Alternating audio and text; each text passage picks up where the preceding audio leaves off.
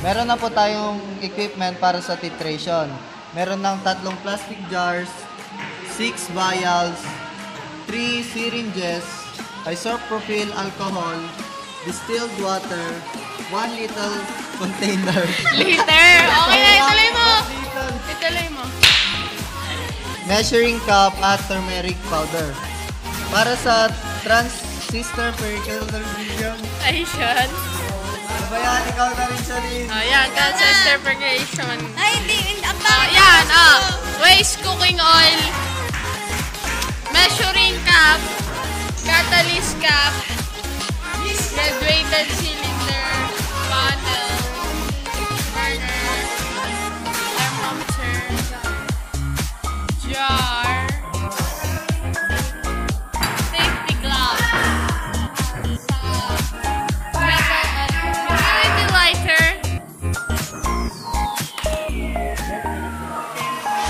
Thermometer,